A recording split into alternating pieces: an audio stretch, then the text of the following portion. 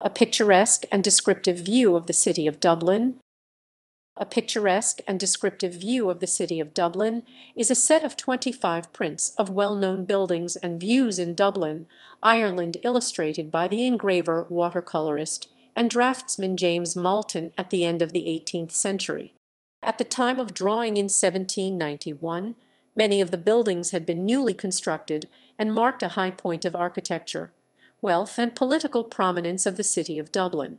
Malton's prints are arguably the most important series of drawings of Dublin to the present day, and almost all of the buildings illustrated still stand and maintain their position at the centre of Irish social, cultural, educational, political, commercial, and legal life.